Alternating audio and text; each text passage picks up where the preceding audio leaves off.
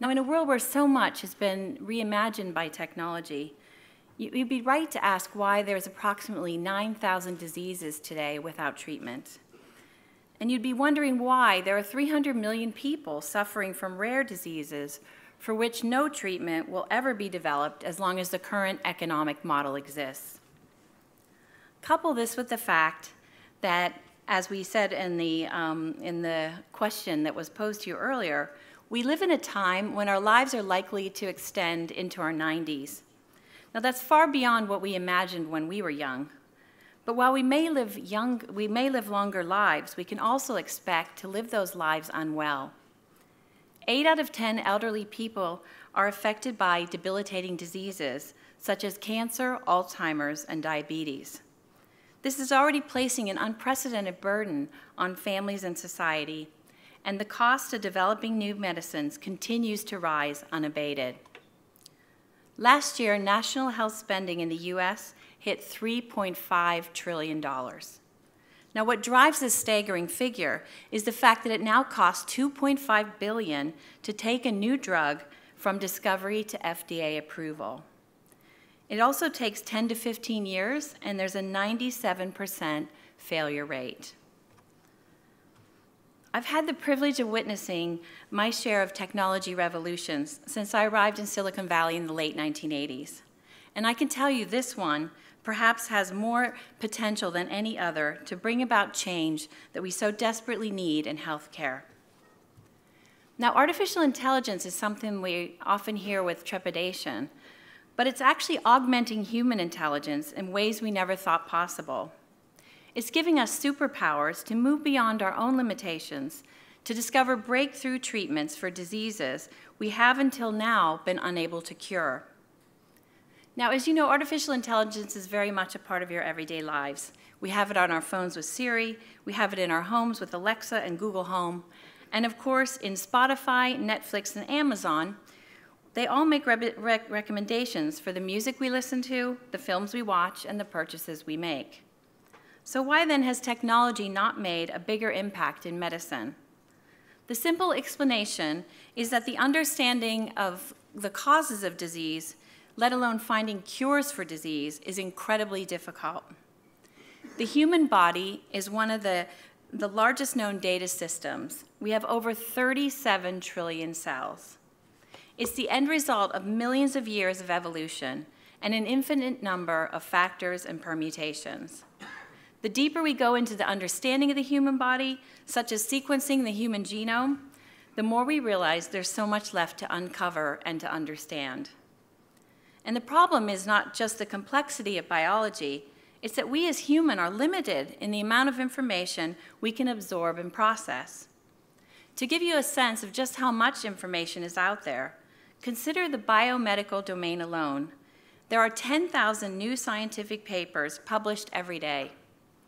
Add this to millions of patents, chemical databases, patient trials, and countless sources of public information that, that is available today, and you quickly realize that it simply isn't possible for mere mortals to process all that information. We haven't yet hit that steep arc of innovation and exponential advancement in biology and life sciences that we've experienced in computer science and engineering because we're limited by the progress of human understanding until now. The rise of computational medicine is already giving us better tools to detect cancer, to read radiology scans, and to diagnose medical conditions. Even Apple got into the game last week with its new watch, which sports your own personal electrocardiogram. But we're just at the beginning. Artificial intelligence can help us uncover relationships between diseases and their symptoms, drugs and their effect, patient endotypes, responders, non responders, and much more relationships that would previously not been uncovered due to the sheer volume and complexity of information. This is exactly what we're trying to tackle at Benevolent AI. We've built the world's only end-to-end computational and experimental platform for drug discovery that spans data ingestion all the way to drug development. We are combining the power of computational medicine and advanced artificial intelligence with the principles of open systems to transform the way drugs are discovered, designed, and tested. So how does this all work? The Benevolent platform is continuously ingesting and analyzing unstructured and structured biomedical information, from academic papers to compound databases to clinical trials and scientific patents. This information is combined with deep learning to create the world's leading bioscience knowledge graph, coupled with an automated platform for hypothesis generation and validation, followed by the design, the refinement, and synthesis of molecules. This powerful engine is used by our scientists to find new ways to treat disease and to personalize drugs for the patients that will benefit most from them. Now, this isn't about running code on powerful computers. You can't develop and test drugs in the cloud. That's why earlier this year we acquired a drug development facility in Cambridge, making us the only AI company that is able to take our own drugs from discovery to the clinic. But you might be asking, why do you need companies like Benevolent AI to lead this revolution? After all, why can't big pharma, why can't they simply use AI to speed up drug development? Well, they are making progress, but the answer is likely the same answer that explains why each of the major industry disruptions we've seen in the past decade were not created by an incumbent. Amazon, which in the past few weeks became a trillion dollar company, wasn't invented by a retailer. Uber wasn't invented by a limousine company. Netflix wasn't invented by a television network. And LinkedIn wasn't invented by a recruiting firm. We simply can't rely on traditional incumbents to lead this revolution either. At Benevolent, we have a unique way of working that brings engineering and drug discovery together to create something that's radically more valuable than the sum of its parts. We have experts across data science, machine learning, informatics, and engineering literally working side by side with drug discoverers, crossing traditional boundaries and breaking down knowledge silos. And we are working on some of the most complex and challenging diseases, including ALS. Motor neuron disease is a devastating disease that destroys the nervous system and currently has no cure. It is poorly understood and immensely complicated. There are 30 genes associated with this disease, but 85% of patients do not have any of those genes, making it difficult, if not impossible, to find treatments that work across such diverse patient populations. Using our platform, we have recently reached an important milestone, identifying several novel targets that we are now collaborating with SITraN, the world-leading ALS treatment center in Sheffield, to develop a clinical compound for testing within the next year. Every day, we push the boundaries of artificial intelligence and machine learning to unlock the power of decades of research to understand the underlying cause of disease and develop new treatments for patients. But we can't do this alone. This is why we're opening our platform to scientists, research institutes, and pharma companies to scale ideas and to test more hypotheses. We aim to foster greater collaboration and to connect data from typically siloed disease-specific entities. This will bring about the large-scale innovation and scientific discoveries required to truly transform the industry. And what gets me really excited is that we're creating a new model for drug discovery and development that will dramatically increase the number of treatments for patients. It will also expand the knowledge base and insights available to scientists and researchers, elevating the knowledge of us all. The Benevolent platform unites biology, chemistry, data science, and engineering, but more importantly, it does it with purpose. In this age of unprecedented technological advancement, I believe it's our obligation to find new ways to treat even the most challenging diseases and I couldn't be more proud to be part of the benevolent team that is working towards that goal. Thank you.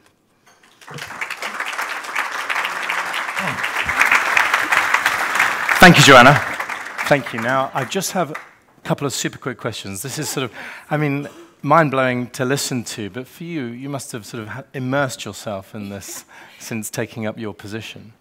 Um, as a company, how would you describe the biggest challenge you think you face as an organization. How does that seem to you uh, driving the organization?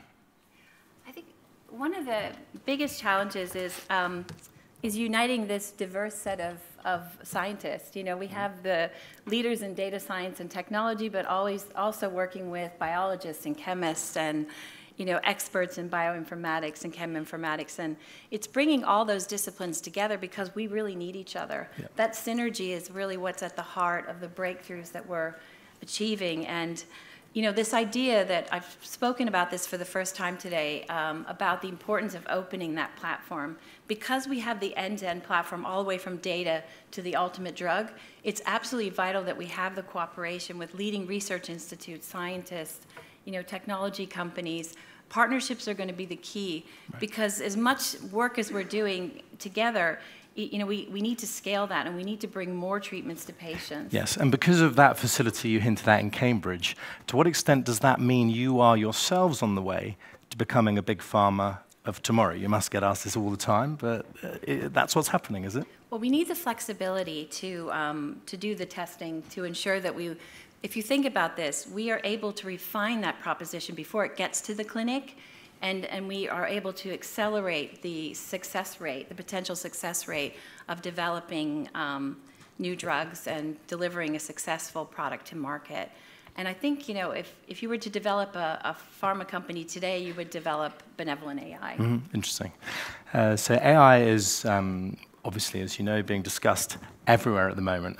In your role, is there a particular misconception that you seem to have to find yourself correcting or that seems to crop up because it's being confronted by so many people. But what would you say by way of correcting well, I think this, the experiments that we see show time and again that machines are incredible and they're facilitating and augmenting, but you need that oversight of the scientists. You need someone to look at that data in, in a different way.